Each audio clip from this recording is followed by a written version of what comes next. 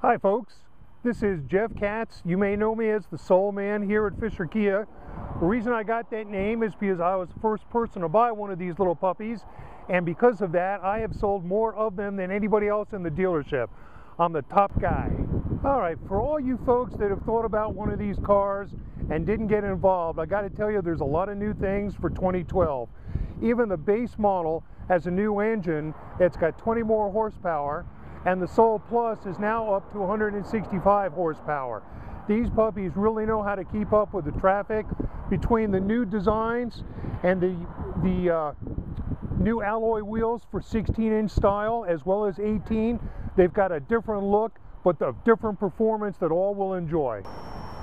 While the new wheels are real spiffy, I've got to call your attention to the fact that the same steel belted all season radials take the place of snow tires. Uh, I haven't had to buy snow tires on my own. I've gone through two of the worst winters we've had in some time. The thing that makes this vehicle really remarkable in the bad weather is the fact that it has traction control. So if one front wheel slips, the other wheel will get the power. It will always pull you in a straight line and never corkscrew you off the road. The other thing I enjoy is the seven inches of ground clearance. This enables the vehicle to be able to step over all of the deep stuff in between the lanes on any of the major highways. Coupled with the uh, tra uh, traction control and the vehicle stability control, it just doesn't skid and it always goes where you have to go.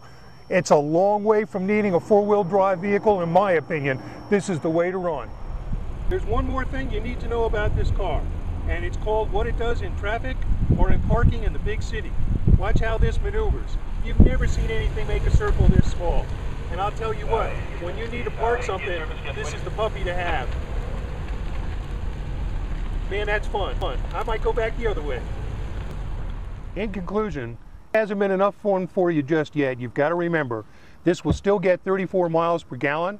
It's big enough to hold your snowblower or your lawnmower, and it's one of the top picks by the National Highway Safety Institute for a car that you can put your loved ones in, especially your kids, and know that they're always going to get out alive.